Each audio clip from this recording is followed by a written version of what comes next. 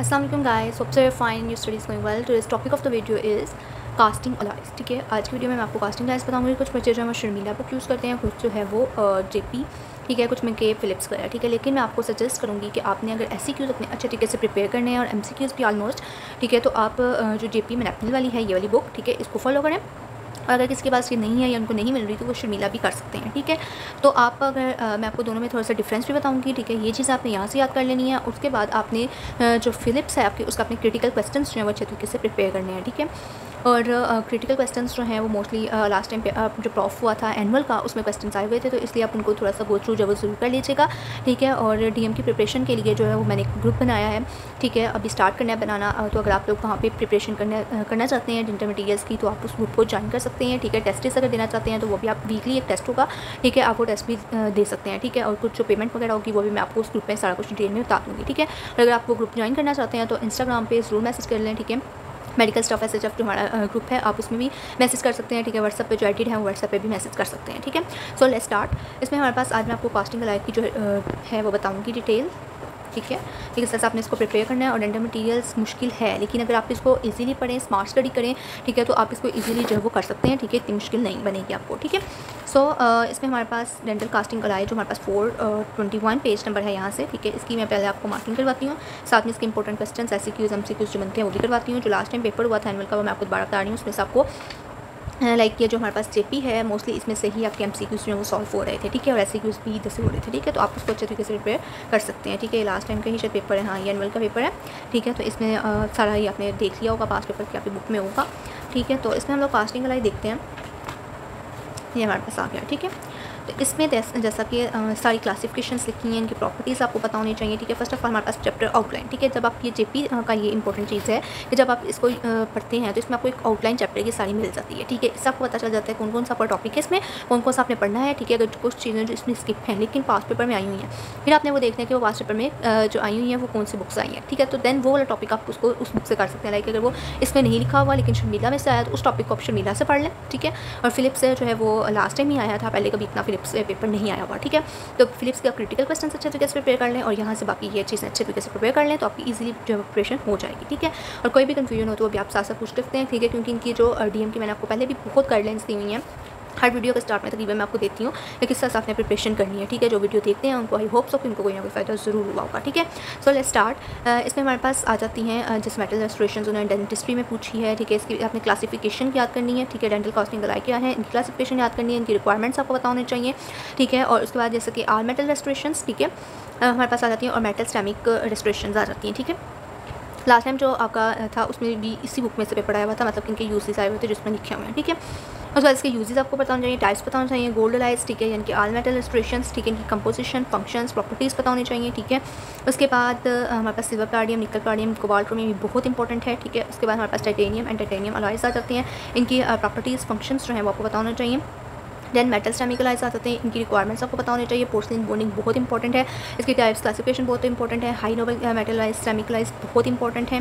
ठीक है हम आगे से देखते हैं कि इनमें से क्या क्या चीज़ें जो वो याद करनी है। ठीक है, मैं कोशिश करूँगी कि आपको इस तरह से बताऊँ कि आपके एम जो है वो मोस्टली सॉल्व हो जाए और ऐसी में भी आपको पता लग जाए कि कौन कौन से पॉइंट्स है वो अपने याद करने हैं, सारा सारा याद नहीं करना। ठीक है, ये सारा जो है ये इंपॉर्टेंट है। ठीक है, इसमें मोस्टली ये जो चीज़ें दी हुई हैं, इनकी आप सिर्फ़ नाम याद कर सकते हैं। ठीक है, इनकी आपने यूजेज याद करने निकल क्रोमियम अलाई के मेटल के एप्लीकेशन मूवेबल पार्टी डेंचर्स ये आपको पता होना चाहिए एक बार और ये सारी चीज़ें आपको इंपॉर्टेंट है ठीक है?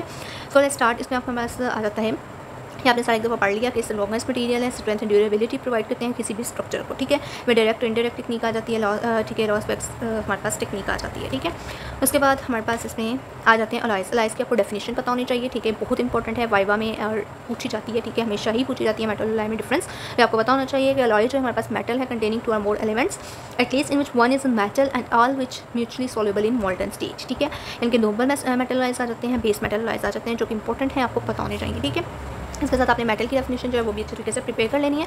इसके टाइप्स आ जाती हैं, ठीक है, ये भी पूछा जाती हैं टाइप्स सबसे, ठीक है नोबल मेटल है कौन से होते हैं? इसमें हमारे पास जो है वो इनके यूज़ आ जाते हैं। नोबल मेटल है हम किस लिए यूज़ करते हैं? इनलेस ओनलेस ठीक है क्राउन्स और फिक्स पार्टी लेंचर्स जो हम लोग, जो इनको यूज़ करते हैं। हमारे पास रेजिस्टेंस होते हैं टू क्लोरिन इन बाउट इनमें जो हमारे नाम है, ठीक है, हमारे पास इसके आपने याद रखनी है गोल्ड प्लाडीनियम प्लाडियम रोडियम लीनियम इरीडियम ठीक है, सारे, ठीक है, जो इंपॉर्टेंट वाले हैं, वो हमारे पास सिल्वर आ जाता है, ठीक है, जो कि टार्निश ठीक और can not consider as metal है लेकिन इसमें आपने जो चार नाम जो अच्छे तरीके से याद करने हैं गोल्ड प्लाडियम प्लाटीनियम ठीक है, और सिल्वर ठीक है, ये आपको अच्छे तरीके से पता होने चाहिए। Then precious metal precious metals जो है, वो intrinsic value of the metal इसमें हमारे पास होता है कि जितने भी नोबल मेटल्स हैं, वो प्रीशियस होते हैं but are precious metals are not noble ठीक है? लाइक इसमें जैसे कि हमारे पास four important dental casting alloys gold palladium platinum and silver जो मैंने आपको बताया all have four have the face center cubic crystal structure होता है, ठीक है वाइट कलर के होते हैं एक्सेप्ट गोल्ड ठीक है?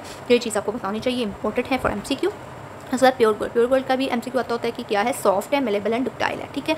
और ये हमारे पास येलो गोल्ड ही होता है इसमें, ठीक है? ये चीज़ आपको पता होनी चाहिए, इसका मेल्टिंग टेम्परेचर आपको पता होना चाहिए डेंसिटी पता होनी चाहिए एमसीक्यू के लिए इंपॉर्टेंट है डेंसिटी भी और मेल्टिंग पॉइंट भी।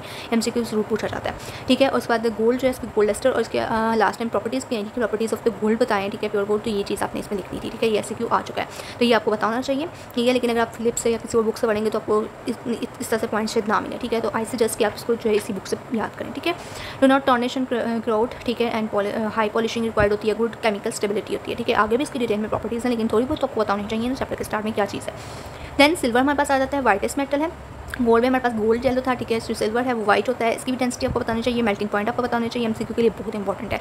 ठीक है, लेकिन गोल्ड का ज़्यादा इंपॉर्टेंट था, वो आपको बताना चाहिए कोफिशियंट ऑफ़ थर्मल एक्सपेंशन जो है, इसकी वो क्या होती है हाई होती है, ठीक है। जो प्लाडियम है, ठीक है, इसकी डेंसिटी जो है, वो लोअर देन गोल्ड होती है, बस ये याद रखने ये याद बेशक ना रखें वैल्यू इसकी लेकिन बस ये याद रख लें कि लोअर होती है then the gold and palladium has high melting point होती है एंड हाई मेल्टिंग पॉइंट होता है, और low coefficient of thermal expansion होती है as compare to the gold palladium को हमने गोल्ड के साथ कंपेयर कर देना है। ठीक है, उसका प्लाटीनियम आ जाती है प्लाटीनियम की हाई डेंसिटी होती है हाई मेल्टिंग पॉइंट होता है, और कोफिशियंट ऑफ़ थर्मल एक्सपेंशन जो है, वो लो होती है, ठीक है? As far the four precious metals ठीक है? तो ये आपको एम आ सकता है। ये सबसे कम कोफिशन ऑफ़ थर्मल एक्सपेंशन किसकी है? प्लाटीनियम की है, ठीक है?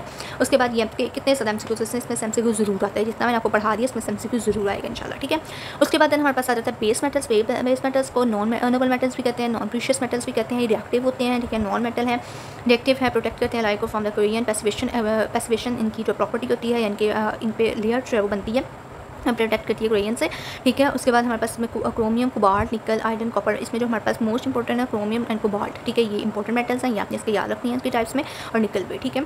ये तीन नाम आपको उसके पता होने चाहिए, ठीक है? बेस मेटलाइज ठीक है? तो आपको डिफ्रेंस भी पूछा जाता है base metal alloys and noble metal alloys में डिफ्रेंस क्या है? तो वो जो आपने डिफ्रेंस लिखना है, वो चैप्टर के लास्ट में लिखा हुआ है, जो कि बाकी बुक्स में इतना अच्छा नहीं लिखा हुआ है इसके, इस बुक में ये है कि इसके टेबल्स भी चेक बने हुए हैं, ठीक है? आप वो भी इजीली जो आपको प्रिपेयर कर सकते हैं, ठीक है?